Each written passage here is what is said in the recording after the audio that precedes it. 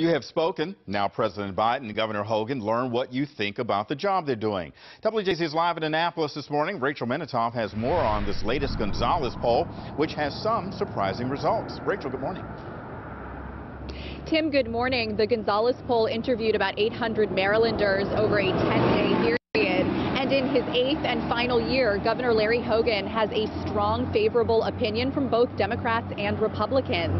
And nearly three quarters of people polled of the overall job that he's doing. What's interesting, Tim, is that the Republican governor actually has a higher approval rating among Democrats than his own party. As for how he's handling the coronavirus pandemic, Governor Hogan is still showing positive numbers with 76% of you approving of his decisions.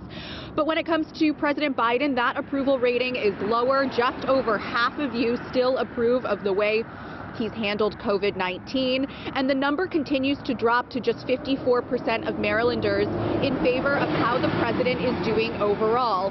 And as Governor Hogan continues to show high approval ratings, top Republicans in Congress are urging him to run for the Senate and challenge current Maryland Democratic Senator Chris Van Hollen in the midterm elections. Governor Hogan has also been asked several times whether he would consider a run for the presidency, and so far he said no, he hasn't. Live in Annapolis, I'm Rachel Menitoff for WJZ. Rachel, thank you.